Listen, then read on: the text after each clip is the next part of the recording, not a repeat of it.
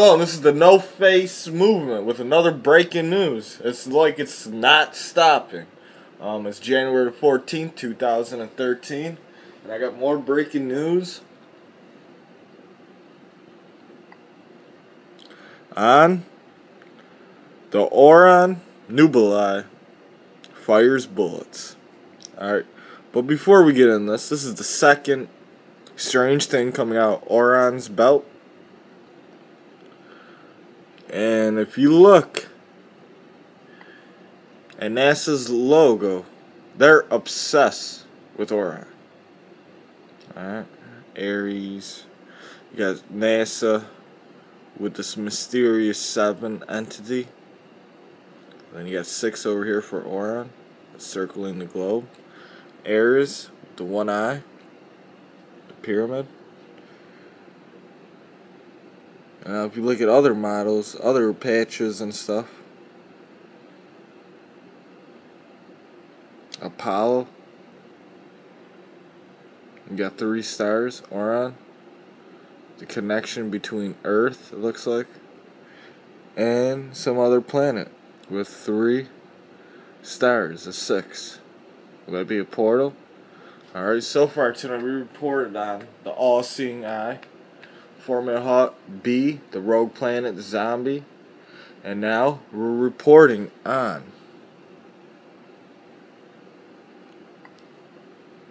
Orion Nebulae. Alright, it's shooting bullets. This is what they're calling it.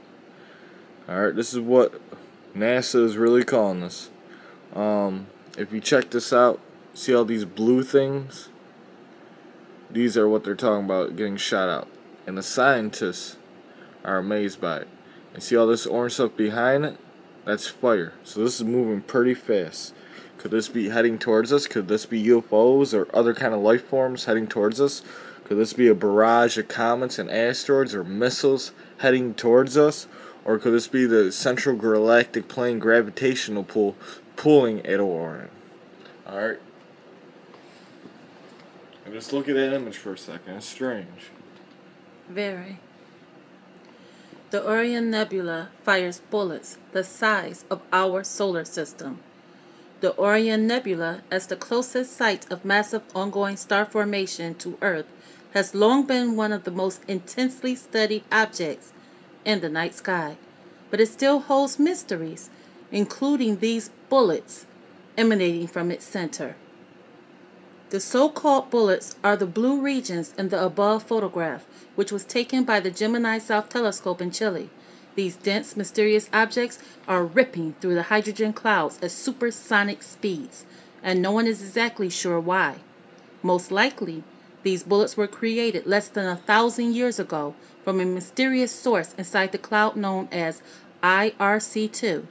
This particular image is a close-up image taken in the infrared spectrum although we're still not getting too close to the bullets, considering just how huge they really are. NASA explains. Blasted out by energetic massive star formation, the bullets, relatively dense, hot gas clouds about 10 times the size of Pluto's orbit, are blue in the false color image. Glowing with the light of ionized iron atoms, they travel at speeds of hundreds of kilometers per second. Their passage traced by yellowish trails of the nebula's shock-heated hydrogen gas. The cone-shaped wakes are up to a fifth of a light year long. The detailed image was created using the 8.1 meter Gemini South Telescope in Chile with the newly commissioned Adaptive Optics System, referred to as GEMS, GEMS. Achieving a larger field of view than previous generation adaptive optics, GEMS Use five laser generated guide stars to help compensate for the blurring effects of planet Earth's atmosphere.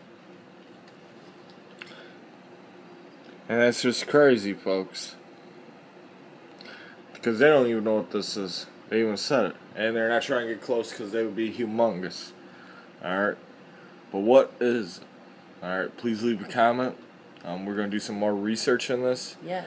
I think it's just peculiar that all of a sudden that NASA is coming out with this. I think it's peculiar NASA all of a sudden is coming out with the one eye solar system that they knew for years if this was really happening. Um, if this was happening for a thousand years, this would have been by NASA years ago. Alright, folks, please rate, subscribe, and comment. Follow me on Twitter, Facebook, Blogspot, uh, Critterbox, and uh, Godlike Production. This is the movement, moving the movement to next time, facing off.